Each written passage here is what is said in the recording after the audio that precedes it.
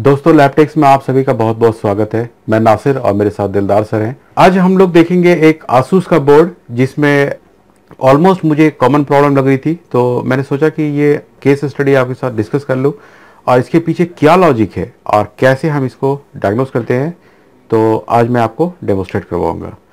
फिर से मैं आपको एक बार याद दिला दूँ, बहुत ही कम टाइम बचा है ये बम्पर ऑफ़र ख़त्म होने में।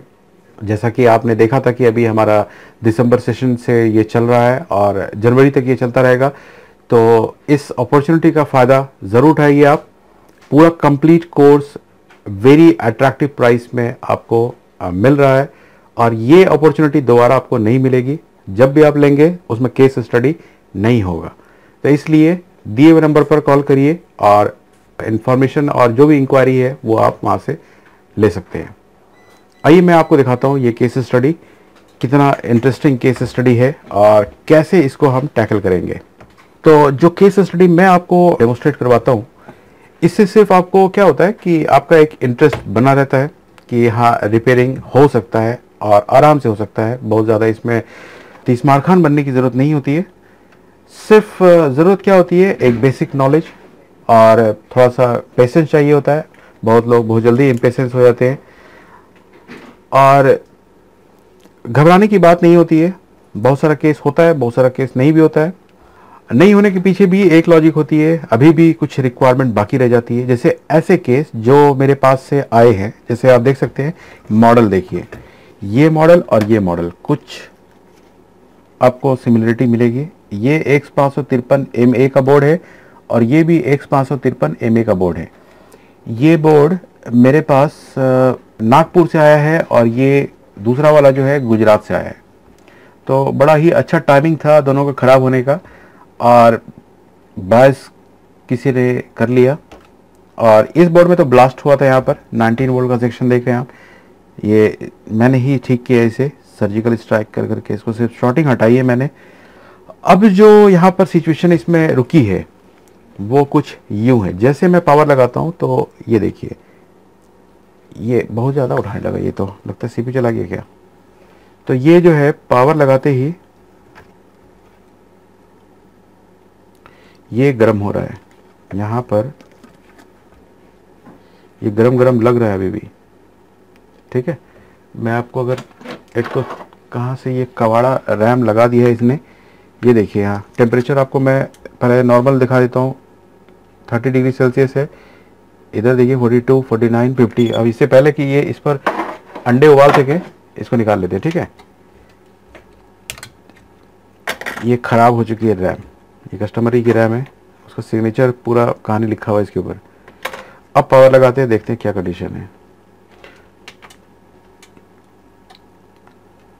तो ऑन नहीं हो रहा, लगता है। ज़ीरो पॉइंट ज़ीरो बाईस है तो मुझे लगता है कि ये ऑन नहीं हो रहा है। ये तो हुआ पहले का सिचुएशन बायस किया हुआ है और ज़्यादा कुछ छिड़ा हुआ नहीं है। बाकी तो नेचुरल छिड़ा हुआ है ये। नेचुरल छिड़ा हुआ का मतलब समझ रहे हैं ना? कि लिक्विड टाइप का चीज़ जो है, गया है कुछ और जिसकी वजह से ये एरिया जो है सड़ गल गया है। और इसका भी देखिए, एक कॉमन पॉइंट है ये।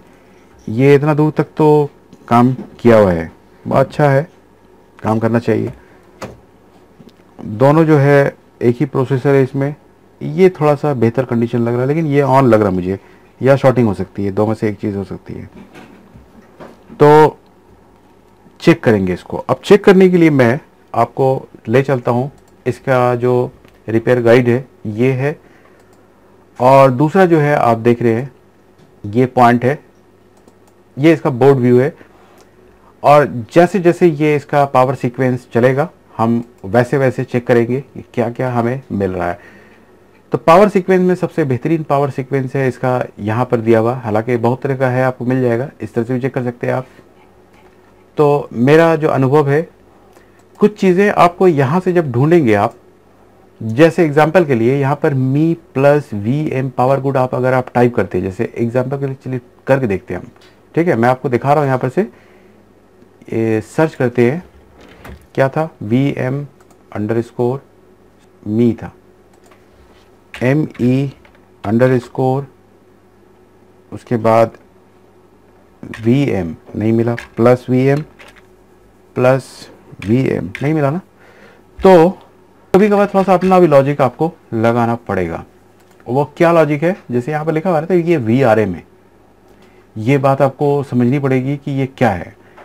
आसूस का जो है एक कॉमन नाम होता है, अपना उसका जो नॉमन होता है, वो अपना वो यूज़ करता है। और वो नॉमन आप ऐसे कह सकते हैं कि वो नॉर्मल नॉमन से Dell H P Acer Campal जो बोर्ड आप देखते होंगे वेस्टर्न कंपाल और अलग अलग जो मैन्युफैक्चरर है, इसका जो बोर्ड होता है, इससे आसूस का नाम थोड़ा सा अलग मिलेगा आपको। फाइव वोल्ट वी ओ करके नंबर नाम होगा। फिर समटाइम जो है, हर चीज़ का नाम, जैसे सस बी यूज़ करेगा, ये सस सी यूज़ करेगा। ये सब जो नाम होते हैं, ये आपको थोड़ा सा कॉम्प्लिकेटेड लगते हैं, कहीं कहीं, किसी किसी पॉइंट ऑफ़ टाइम क्योंकि ये नॉर्मली आपको कॉमनली बहुत सारी चीज़ तो कॉमन मिलेगा system power okay system power good ये सब तो सही मिलेगा। कभी कभार आपको कहीं कहीं पर, किसी किसी पॉइंट ऑफ़ टाइम पर जो है, ये आपको कभी कभार कन्फ्यूज़न का भी कारण हो सकता है। इसलिए आसूस का जो है आर्किटेक्चर आईबीएम का आर्किटेक्चर भी हम लोगों ने अभी अपडेट क्लास में अभी बताया है, अभी अपने स्टूडेंट्स को, कि जब आईबीएम का कोई नेम होगा, कहीं पर वोल्टेज ट्रांजिशन हो रहा है तो वो क्या क्या नाम रखता है? जैसे एम पावर ओके ये आपको कहीं पर देखने को नहीं मिलेगा, कि कंपाल के बोर्ड में या वेस्टर्न के बोर्ड में एम पावर ओके का कंसेप्ट आप आईबीएम में ही देखेंगे। वो क्या होता है, उस कैसे बनती है, कैसे जनरेशन होती है उसकी।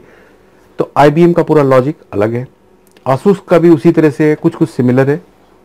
बाकी जो नॉर्मल जेनरिक बोर्ड हैं कंपाल के वेस्टर्न के और फॉक्सकॉन के, वो ऑलमोस्ट सारे सिमिलर ही मिलेंगे। तो ये बात जो है, यहाँ पर आप जब ढूंढेंगे इसे कि me underscore plus V M underscore power good तो यहाँ पर आपको क्या ढूंढना पड़ेगा?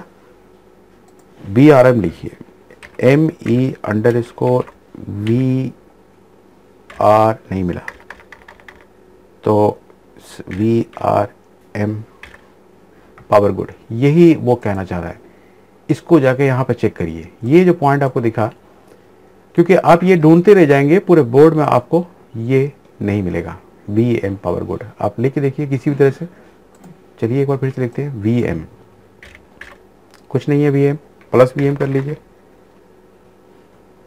प्लस वी एम देखिए, बात क्या है कि है बात बहुत छोटी सी, लेकिन अगर इसने पावर सीक्वेंस दिया है तो आपके अंदर भी थोड़ा सा उतावलापन आएगा कि चलो, किसी तरह से चेक करें कि ये है क्या, कहाँ जा रहा है। किसी किसी पॉइंट ऑफ़ टाइम पर आपको ये फंसा देगा कि ये तो बोल रहा है चेक करने के लिए। जैसे एग्ज़ाम्पल के लिए यहाँ पर आप चेक करेंगे कि सिस्टम पावर गुड आप लिखिए सिस्टम कैसे भी करके लिख लीजिए। आपको सिस्टम पावर गुड नहीं आने वाला यहाँ पर। देखिए एस वाई एस कुछ नहीं दिखा रहा है। प्लस करके भी करते हैं। प्लस एस वाई एस नहीं आया ना। सिस्टम पावर गुड कैसे ढूंढेंगे आप? तो ये एक यहाँ पर कमाल की बात होती है कि ये यहाँ पर आपका एक्सपीरियंस काम आता है। वो लोग जो बोर्ड को काफ़ी बार रिपेयर कर चुके हैं आसूस को, चूँकि आए दिन हम लोग के पास, देखिए अभी मैंने बताया, ये नागपुर से आया हुआ है, ये गुजरात से आया हुआ है। तो अलहमदिल्ला पूरे इंडिया के हर कोने से बोर्ड, हर तरह के, हर आर्टिक्चर के कभी ऐसे भी बोर्ड देखे हैं जो कि मैंने आज तक नहीं देखे होंगे। तो ऐसे ऐसे बोर्ड भी आ जाते हैं जिसकी कि, जिसका कि पहली बार मैं भी दर्शन कर रहा होता हूँ। और उसे भी रिपेयर कर देता हूँ।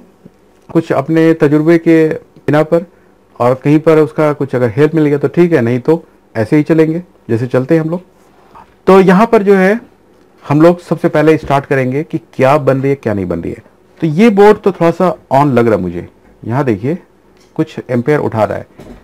तो सबसे पहला चीज़ जो हम कंफर्म करेंगे क्योंकि ज़्यादा ओवर कॉन्फिडेंस वो आपको ले डूबता है कभी कभार तो मैं ये नहीं बोलूँगा कि हाँ एल बन रही होगी, तीन पाँच बन रही होगी एस फाइव बन रही होगी, सारी निकल रही होगी। चेक कर लीजिए। ज़्यादा टाइम नहीं लगेगा। पाँच वोल्ट बन रही है, तीन बन रही है। अब 100 परसेंट श्योर हो गए कि 90 परसेंट नाइनटीन वोल्ट सही होगी। तो ये बात तो आप लोगों को पता चल चुकी होगी। और देखते हैं रैम की वोल्टेज नहीं है क्या? इधर नहीं है? अच्छा लगा नहीं था ठीक से। तो ये 1.4 है, कुछ ज़्यादा है लेकिन। D D R three RAM है कि कम है? एल होगी इसमें ना, इसके अंदर तो ये तो नंगा है, इसके ऊपर कुछ है ही नहीं। तो एल होनी चाहिए क्योंकि हाँ ये जो सेलरॉन वाला या सेंट्रेनो या डुअल कोर वाला जो प्रोसेसर होता है, इसके साथ एल लगती है। एल है तो 1.35 होनी चाहिए। चलिए कंसीडर करते हैं। थोड़ा सा देखिए कम भी हो रहा है, कभी बढ़ भी जा रहा है। 1.4 हो जा रहा है। इसके बारे में हम लोग बाद में एग्जामिन करेंगे। अगर कुछ लोचा करता है ये, अपना जैसे मान लीजिए कि अगर रैम ये जो वी क्यू की वोल्टेज बनी है, अगर ये सही ना हो तो ज़्यादा ज़्यादा क्या होगा? कि हमारी जो रैम रेगुलेटर है वो अपनी पावर को नहीं निकालेगी। यही होगा ना? अगर वो सही है मान लीजिए हमने सोचा कि ये गलत है इसमें डिस्कस बहुत ज़्यादा डीप लेने की ज़रूरत नहीं है इसको कि ये बहुत ज़्यादा बड़ा लॉजिक है। थोड़ा सा ज़्यादा और कम लगना वोल्टेज अपने टारगेट पॉइंट से ये एक नॉर्मल इशू होता है। और ये सही और ख़राब है इस, इसका जो पुष्टिकरण है यानी इसका जो हम कंफर्मेशन है वो कैसे करते हैं? इसके पावर गुड से। अगर इसकी पावर गुड सही है तो आप आगे बढ़िए। इसको छोड़ दीजिए, ये सही है एकदम। ठीक है? तो ये एक तरीका है कि यहाँ पर हमें ये कंफर्म हो गया कि ये सही होनी चाहिए। पावर गुड देखेंगे बाद में। ये है कोर लगता है। इसको चेक कर रहे थे तो ये भी बन रहा है। हालाँकि लोड देखिए। करंट का लोड 0.067 है। ऐसे में तो लग रहा था मुझे कि मैक्सिमम रन भी नहीं बन रही होगी। हालाँकि इसमें कोर तक बन चुका है। तो क्या मिसिंग है? ये बैटरी वाला एरिया होना चाहिए? तो बिल्कुल सही है। ये बैटरी का कनेक्टर है। ये बैटरी का कनेक्टर है। और यहाँ पर अभी ड्रॉप करते करते ये ड्रॉप हो जाएगा पूरा। नहीं भी हो तो कोई फ़र्क नहीं है बाद में चूँकि मेरे पास ना बैटरी है, ना कुछ है। कुछ नहीं चेक कर पाएँगे। तो ये, इसकी कंडीशन आपको मैंने अभी दिखाई कि इसमें यहाँ से यहाँ तक बन रहा है। तो इसमें हम कैसे चेक करेंगे और क्या चेक करेंगे? तो सीक्वेंस फॉलो कर लेंगे। तो बहुत बड़ी रॉकेट साइंस की ज़रूरत नहीं पड़ेगी इसमें हमें। तो इसमें हम जो अप्लाई करेंगे, सबसे पहला चीज़ जो चेक करेंगे हम कि क्या हमारे बोर्ड में 3.3 वोल्ट की पावर गुड बनी है कि नहीं? तो 3.3 वोल्ट पावर गुड कहाँ दिखा रहा है? ये तीन वोल्ट पाँच वोल्ट सस है, तीन वोल्ट सस है तो सस पावर गुड छः number point sus power good check करेंगे हम। और इसका, इसको चलिए हम लोग चेक कर लेते हैं। Sus power good sus underscore power good अच्छी बात है कि मिल गया। कभी कभार नहीं मिलेगा तो ज़्यादा टेंशन नहीं लेना है। ये पॉइंट है डायोड का। जैसा कि देख रहे हैं आप डी अंठावन सौ एक, यहाँ पर आपको सस पावर गुड आनी चाहिए। ठीक है क्या आ रही है। तो ये मैंने मल्टीमीटर लगा लिया। और यहाँ पर है नहीं, ठीक है? एक से पॉइंट दिया हुआ, लेकिन ये हमारी बन रही है यहाँ पर, देख सकते हैं आप जैसा कि डायोड है नहीं यहाँ पर। डी अंठावन सौ एक का पोजीशन है, लेकिन यहाँ पर ज़रूरत नहीं होगी। और रजिस्टर लगी हुई है, इस रजिस्टर के पास से हमें 3.3 वोल्ट इसकी पावर गुड आ देखिए, रट्टा मत मारिए। कि क्या ख़राब होता है, क्या नहीं होता है, एक पीएसएल लॉजिक वाला याद होगा आपको। तो बहुत सारे लोग, अभी एक बोर्ड में आपको दिखाता हूँ कि ये रट्टा मारने का क्या नतीजा होता है। ये देखिए, मैंने इस पर लिख रखा है डायग्नोस किया था मैंने रात में घर पर। एस फाइव एनेबल शॉर्ट है इसकी, ठीक है? और इस एरिए का तो भुरता बना दिया एकदम पूरे तरह से। आयो भी चेंज कर रखी है। इस पी एस एल लॉजिक को पूरा फाड़ के रख दिया एकदम। तो क्या होता है कि अगर लॉजिक पता नहीं है, आप किसी को कॉपी कर रहे हैं तो it is nothing more than imitating to someone imitate में क्या होता है वो तो कॉपी पेस्टिंग हुआ है जिसको आप हिट एंड ड्राई बोल सकते हैं दूसरे लफ्जों में। तो इसमें देखिए, यहाँ पूरा डायट चेंज ये चेंज वो चेंज का कब तक चेंज करते रहिएगा? ज़िंदगी ख़त्म हो जाएगी चेंज करते करते फिर भी नहीं हुआ तो भेज दिया। और फाइनली क्या पता चल रहा है इसमें? कि ये जो पॉइंट है शॉर्ट है। मैं इसके आपको सिर्फ़ तजुर्बा दे रहा हूँ। देखिए, मैं अभी तो फोकस हूँ उस बोर्ड पर। सिर्फ़ देखिए यहाँ पर, ये एस फाइव के अनेबल है। ये बुरी तरह से शॉर्ट है ज़ीरो एकदम। ये अनेबल है एस फाइव ऑन ये देखिए। बाईस ओम है। एस फाइव वन यहाँ से निकल करके तीन पाँच पर, इस नंबर पिन पर जाएगी। ये शॉर्ट है। और इसका वजह है, ये पी एस एल लॉजिक के यहाँ पर जो आती है, ये पॉइंट भी शॉर्ट है। कहाँ से होगा? आप इसको चेंज करिए, इसको चेंज कर लीजिए, पूरा जहान चेंज कर लीजिए जो, जहाँ पर पहुँचना है, वहाँ तक तो पहुँचिए। तो इसलिए पी एस एल लॉजिक को भी समझाया है बहुत सारे लोगों ने। अब जिसको समझ में नहीं आ रहा है तो वो सिर्फ़ चाह रहे क्या आती होगी problem P S L logic में। चलो चला चेंज कर देखते हैं। तो बोर्ड खराब होता है उससे। ठीक ना होने के बजाय, देखिए उसमें आयो वगैरह सब उड़ गई है उसकी। इसी चक्कर में। वो मैंने उड़ाई फिर बाद में। इतना पावर डाल करके मैं शॉर्टिंग चेक कर रहा था तो धुआँ दे गया वो। तो क्या होता है? इमिटेटिंग मत करिए। ग्रास्प करिए नॉलेज को। वो आपके लिए फ़ायदेमंद है। ये आपके लिए एक क्या होगा? सिर्फ़ आपको एक हेल्प है। एक, जैसे ये टेक्निकल डॉक्यूमेंट मैं आपको दिखा रहा हूँ ये, कि रिपेयर गाइड है ये। तो वैसे हम लोग भी एक तरह से गाइडिंग ही काम कर रहे हैं और कुछ नहीं कर रहे हैं। ठीक है? चलिए अब आगे इसकी बढ़ते हैं कि हमारा यहाँ तक तो सही था। सस पावर गुड हमें मिल रही है। सात नंबर पॉइंट क्या भाई? वो है sus power D N A C के, ये एक्नॉलेजमेंट है, और फिर उसके बाद सस ए सी के है, सस का एक्नॉलेजमेंट है। ये दोनों सिर्फ़ ये बताता है कि कब स्लीप मोड में जाएगी, कब स्लीप मोड से वेकअप होगी। लास्ट में रखते हैं इसको चेक करने के लिए, ठीक है? फिर आपका 10 तक तो हो गया यहाँ सस ए सी के। 11 नंबर पर हम आते हैं। 11 नंबर ढूंढिए आप लोग भी। आप पावर स्विच बता रहा दबाने के लिए तो मैं, ये तो बोर्ड ऑटो ऑन हो रहा है। तो हम पावर स्विच क्यों दबाएँ? चलिए उससे भी आगे बढ़ते हैं। ठीक है? पावर स्विच दवाए बिना ही ऑन हो गया है, तभी तो हमें ये कोर मिल रही है। ठीक है? कोर मिल रही है। तो 11 हो गया 12 देखते हैं, अब 12 12 भी इधर होगा। ठीक है? पावर बटन ऑट ऐसा करें हम लोग, उल्टा चलते हैं। अगर ऐसा अगर लगता है ना कि देखिए, क्या सीख रहे हैं? मैंने आपको बताया ना, ये रिपेयर गाइड है। हम लोग क्या करते हैं? नीचे से चलते हैं। एक सर्टेन पॉइंट मान लेते हैं कि कोर पावर गुड निकल रहा होगा। कब? जब ऑल सिस्टम पावर होके आ रहा होगा। कोर पावर गुड से खेलना स्टार्ट करते हैं। बैक चलते हैं। इसको रिवर्स इंजीनियरिंग में लेते हैं हम लोग। ठीक है? तब इसकी वाट लगाएँगे अच्छे से हम लोग बोर्ड की। Core power good. चलिए लिखते हैं हम लोग कोर पावर गुड। नहीं लिखा जा रहा, ये कहाँ लिख रहा हूँ मैं? कोर पावर गुड आ गया। ये कहाँ दिखा रहा भाई? ये दिखा रहा है इस पॉइंट पर। देखिए बोर्ड में। यहाँ पर एक कैपेसिटर होना चाहिए रजिस्टर अच्छा नहीं है। क्योंकि देखिए अच्छा ये बात कैसे कंफर्म करते हैं कि है या नहीं है? यहाँ देखिए। मैं आपको डायग्राम पर दिखा रहा हूँ। ये मोबाइल इससे भी दिखाता हूँ कैमरे से भी आपको, दोनों चीज़ पर आपको कंफर्म हो जाएगा। अगर कहीं पर कोई कंपोनेंट लगी होती है तो उसकी वैल्यू लिखी होती है, जैसे R E S ten kilo ohm इससे आप कंफर्म कर सकते हैं कि यहाँ पर रजिस्टर होनी चाहिए। कितनी? दस किलो ओम की। लेकिन जब मैं यहाँ पर रखता हूँ तो देखिए यहाँ पर कोई भी इन्फो इन्फो खाली होगा। तो इन्फो अगर नहीं है तो आप कंफर्म कर सकते हैं वहाँ पर ओपन है एट द रेट है डाई है, ये सब आप कर सकते हैं कि वो नहीं है वहाँ पर, ठीक है? तो जहाँ पर है, वहाँ पर देखिए लिख दिया इसने 14 किलो तो इससे भी पता कर सकते हैं आप।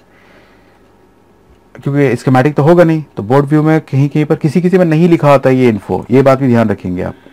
यहाँ पर हमें 2.6 मिल रही है। तो ये तो बड़ा अजूबा मिला है। ठीक है?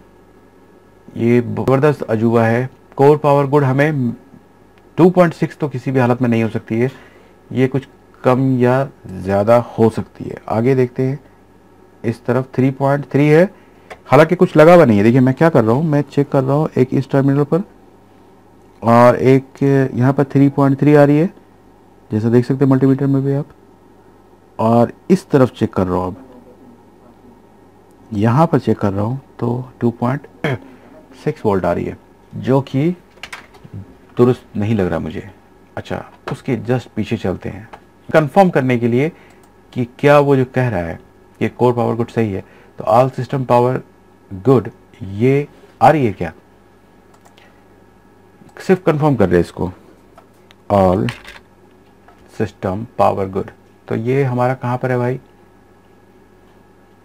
तो ये हमारा आ गया। एक लाइन से रजिस्टर लगे हुए, कैपेसिटर लगे हुए क्या क्या है? एस एल है तो देखते हैं यहाँ पर क्या क्या है। तो यहाँ पर देख रहे हैं आप कि हमें कुछ ऐसा पोजीशन दिखा रहा है। यहाँ पर सिर्फ़ एक तो पैड ही है, दूसरा रजिस्टर है। तो ऑन करता हूँ मैं पावर नहीं लगाया अभी। आ रहा है, बिल्कुल सही आ रहा है। तो ये तो बहुत अच्छी बात है। तो ऑल सिस्टम पावर ओके आ रहा है? ऑल पावर गुड भी निकल गया है। तब बताइए आप कि अब मैं इसके बाद कोर पावर गुड के बाद क्या चेक करूँ? क्योंकि ये 28 नंबर चेक कर रहा हूँ, ठीक है? अब 28 के बाद उनतीस होगा 30 होगा, ठीक है? 30 हो गया। रीसेट है, यानी पीएलटी रीसेट है। और उनतीस है पीएम सिस्टम पावर ओके तो हम पीएलटी रीसेट चेक कर लेते हैं। सबसे अच्छा ये रहेगा 30 number P L T reset P L T reset तो ये कहाँ है भाई? अच्छा इसी के अंदर है। इसके अंदर तो नहीं घुस पाएँगे हम लोग। यहाँ पर बैक साइड में पी एल टी रीसेट है। जगह दे रहा है। ये लग रहा है मुझे।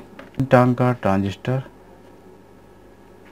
रुकिए, मैं उल्टा पकड़े हुआ एक्चुअली यहाँ पर से हम देखेंगे अब, ये है लोकेशन हमारा, ठीक है, ये है हमारा पीएलटी रीसेट तो 1.8 वोल्ट बन रहा है पीएलटी रीसेट तो मुझे बताइए अच्छा ये जो ट्रैक था, क्या था भाई? ये जो ट्रैक है, इसको चेक कर लेता हूँ. ये 3.2 वोल्ट है. ये क्या है? जंपर यहाँ से यहाँ लगा हुआ है. ठीक है. ये पाँच वोल्ट, नौ वोल्ट अच्छा ये तो वो है, क्या बोलते हैं? चार्ज पंप है। तो ये तेरह वोल्ट आपकी यहाँ पर खड़ी हुई है। तो जंपर खाली किस लिए ये देख रहा था मैं? चार्ज पंप पर है ये। तो पीएलटी रीसेट भी मिल रही है। 1.8 वोल्ट मिल रही है। क्या 1.8 ही होती है? ये इस बात का भी कंफर्मेशन करना होगा कि ये 1.8 होती है कि नहीं। अब आप मुझे बताइए अच्छा एज विड अब देखिए कि 30 नंबर तक तो हमारा पी एल रीसेट जो कि पूरे पावर ऑफ़ सीक्वेंस में, आप जब देखेंगे तो लास्ट आपको यहीं पर ख़त्म होता है कि बफर पी एल रीसेट हमें अब हाई मिल रही है। बस अभी हम हाई या लो की बात करेंगे। अब वो 1.8 होनी चाहिए कि 3.3 होनी चाहिए, वो तो एक अलग मसला है। हाई है हमारे हिसाब से। और ये हाई है तो क्या ख़राब हुआ है? कोर भी आपको ठीक ठाक बन रही है कोर बनी है तो ज़ाहिर सी बात है तभी आपकी पी एल टी रीसेट यहाँ पर बन रही है। हालाँकि अब लॉजिक नए लेटेस्ट बोर्ड में थोड़ा उल्टा हो चुका है अगर क्लॉक के हिसाब से बात करें तो। अब इसमें बताएँगे आप लोग कि नेक्स्ट क्या है व्हाट इज़ द नेक्स्ट देखिए हम अगर ऐसे मान लें दोस्तों कि आ, किसी बोर्ड में कुछ एक सर्टेन प्रॉब्लम आती है तो ये बात भी दुरुस्त है। और हम ये भी मान सकते हैं कि उस, उससे बेहतर तरीका है कि आप अपना दिमाग लगाइए, अपना फॉलो करिए चीज़ों को। और लेकिन ये बात अहम है कि क्या जो यहाँ पर रिपेयर गाइड दिया हुआ है is that enough is that efficient क्या रिपेयर के लिए बस यही काफ़ी है? अगर जो काफ़ी है तो फिर क्लॉक का इंफॉर्मेशन कहाँ पर है इसमें? क्या आनी चाहिए, कितनी आनी चाहिए? बायोस का इंफॉर्मेशन है ही नहीं तो कैसे रिपेयर करेंगे? तो बात दरअसल ये है कि इसका मतलब है ये काफ़ी बिल्कुल नहीं है। इस बोर्ड को कैसे रिपेयर करेंगे? क्या बायोस ख़राब है? चूँकि देखिए, अभी तक इस बोर्ड को तो मैंने हाथ नहीं लगाया। इसमें मैंने बताया था कि जो जला था, इसको मैंने सर्जिकल स्ट्राइक किया है यहाँ पर, और इसको सिर्फ़ शॉर्टिंग हटाई है। पावर डाल रहा हूँ तो सेम कंडीशन ये भी है। लेकिन ये थोड़ा बेहतर है। अभी फिर से एक बार मैं दिखा दे रहा हूँ। ये ऑन करता हूँ। तो ये 22 तक जाता है, वो 50 तक जाता है, ये 22 तक जाता है। ठीक है, दोनों भाई बहन ही लग रहा है एक दूसरे का। तो ये कंडीशन में दोनों बोर्ड है। तो आप ट्राई करिए एफर्ट करिए और बताइए कि इसमें मुझे और क्या करना चाहिए। क्योंकि मुझे तो लग रहा है कि सीपीयू चला गया है। कैसे हम एग्जामिन करेंगे इस तरह की प्रॉब्लम को? क्योंकि ये तो ज़ाहिर सी बात है कि अगर मेरे पास आता है इस तरह का केस और आप भी रिपेयर कर रहे हैं तो आपके पास भी आता ही होगा। क्योंकि आपसे ही मेरे पास आ रहा है। आप ही जैसे जो रिपेयर करते हैं, मैं कहीं नहीं भेजता हूँ बोर्ड रिपेयर करने के लिए और ना ही भेजूँगा कभी। शुरू शुरू में मैंने करवाया नेहरू प्लेस में, बहुत सारे एक्सपर्ट इंजीनियर थे तो उससे मैंने रिपेयर करवाया बोर्ड जब मुझे नहीं आता था, मैं सीक्वेंस नहीं समझता था, ना मैं सिग्नल समझता था। लेकिन फिर मैंने सीखा, दिलदार सर ने मुझे सिखाया है। और आज मैं जो भी हूँ, उसी की वजह से हूँ। और ये मैं बहुत ही प्राउड के साथ कहता हूँ कि वो इंजीनियरिंग बैकग्राउंड से है, मैं नॉन इंजीनियरिंग बैकग्राउंड से हूँ। लेकिन सीखना तो पड़ता है और पढ़ना भी पड़ता है, मेहनत करना पड़ता है। तो ये इसमें कोई दो राय नहीं है कि आपको भी मेहनत करना होगा। लेकिन सपोर्ट हम लोगों की तरफ़ से पूरा होगा। जितना नॉलेज है हमारे पास, मैं उसको आपके सामने रख दूँगा। ये बम्पर ऑफ़र हाथ से मत जाने दीजिए। मैं बार बार कह रहा हूँ आपसे, ये बहुत बड़ा ऑफ़र है आप लोगों के लिए। ये आपके करियर को जो है एकदम बदल के रख देगा। जो आप अभी तक कंफ्यूजन में है, जो बोर्ड आपसे रिपेयर नहीं हो पा रहा है इनशाला वो ज़रूर रिपेयर होगा। बाकी जो बची कुची कसर है, वो हम ग्रुप में और जो हमारा क्लास के बाद, यानी जो वीडियो कोर्स के बाद जो हमारा क्वारीज क्लास होगा जो करीब सात दिन का, जो आपको क्वारीज क्लास दूँगा जहाँ पर आपको वीडियो में समझ में नहीं आया है ओपन सेशन होगा, जहाँ पर आप क्वेश्चन पूछेंगे, मैं आपका जवाब दूँगा। तो ये बहुत ही अच्छा अपॉर्चुनिटी आपके लिए। अगर आपकी कोई भी क्वारीज है तो आप दिए हुए नंबर पर कॉन्टेक्ट करिए। और आपके जवाब का कि इसमें मैं क्या चेक करूँ, और आप कैसे चेक करते हैं, दोनों में से कुछ भी लिख सकते हैं आप। कि चाहे तो आप मुझे ही सजेस्ट कर दीजिए कि मैं क्या चेक करूँ इसमें, चूँकि मैंने चेक करा दिया है मोटा मोटी पॉइंट से लेकर के लास्ट तक चेक करा है। कि ऑलमोस्ट सारी चीज़ हमें मिल रही है। और जो मिल रही है पीएलटी रीसेट क्या वो सही है या गलत है, वो भी बता दीजिए कि कैसे या क्यों। कैसे हम उसे एग्जामिन करेंगे। आप ज़रूर इसका आंसर लिखिए कि इसको हम कैस, किस तरह से रिपेयर कर सकते हैं। और अगर बायोस ख़राब है तो उसका क्या लॉजिक है कि बायोस ख़राब है। आपके आंसर का बेसब्री से हमें इंतज़ार रहेगा। तो वीडियो अगर पसंद आया है या क्वेश्चन जो क्विज सेशन चल रहा है हमारा, अगर पसंद आया है तो लाइक करिए। वीडियो को और ग्रुप्स में शेयर करिए ताकि ये दूसरों तक भी पहुँच सके। अगर आप हमारे वीडियो को वॉच करते हैं सब्सक्राइब नहीं किया है तो प्लीज़ सब्सक्राइब ज़रूर कर लीजिए। ये एक अप्रिशिएशन होगा हमारे लिए, ठीक है? तो चलिए आंसर के साथ मिलते हैं अगले वीडियो में। Thank you for watching this video